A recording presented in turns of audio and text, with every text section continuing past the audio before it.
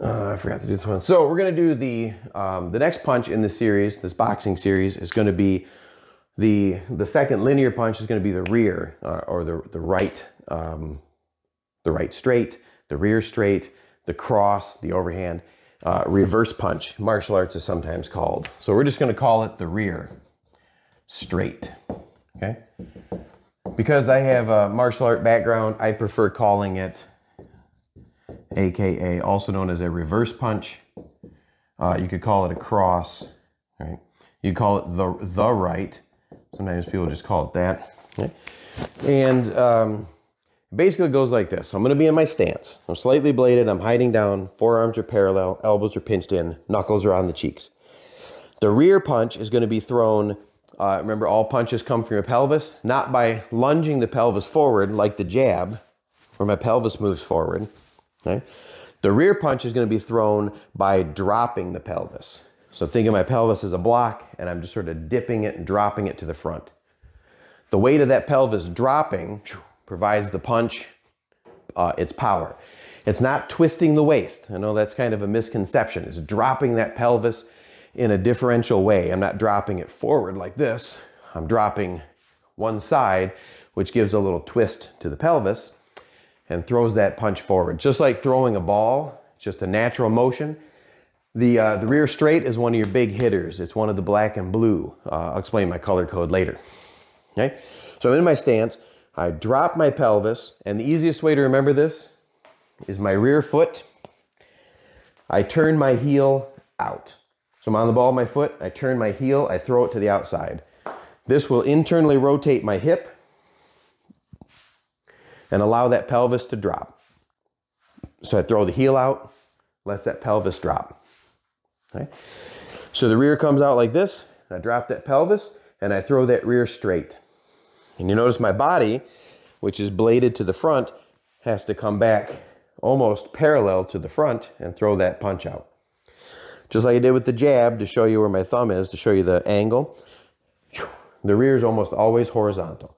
You can throw a rear standing fist, kind of kung fu. You don't really need to do that. You're going to hit harder and more power.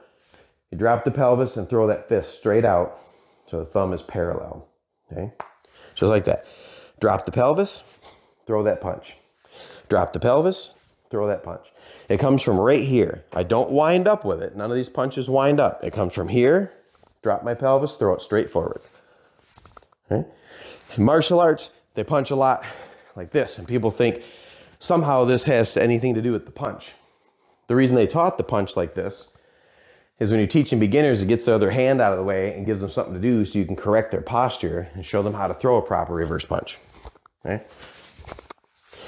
This hand stays on your face to protect yourself. We get into defensive combos later. You'll see how when you're going to throw the reverse punch because you slipped the outside, they're almost always going to throw a cross in uh, response to that. So that's for later. The rear straight. I'm in my stance. I drop my pelvis, drive that hip and shoulder forward, throw that punch straight out, straight back. Just like that. Just like that. From the open side, drop the pelvis, throw it forward. And you can exaggerate that throwing out of the heel until you get the hang of it. From the, op- the closed side, throw that heel, reverse punch, reverse punch. Don't worry about where the punch is going so far at this point. Just throwing the punch, obviously, unless I'm fighting somebody four foot 10, four foot 11, uh, or, you know, little kids, which you shouldn't be fighting. Don't worry about that yet. We'll talk about moving and timing your opponent so when they go to dip or duck and their head's down, they'll put their own head in the way of your fist. Or you can punch them right in the chest. You drop a little lower, reverse punch right in the groin.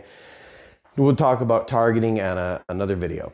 So the first of the heavy hitters, the rear straight, you can use that jab to set up. And as the jab comes back, you've loaded up that pelvis, moving it forward, one, then drop, and throw your reverse punch. So um, next video, we're gonna talk about the hook, If you like this series, leave a comment, like, share, subscribe.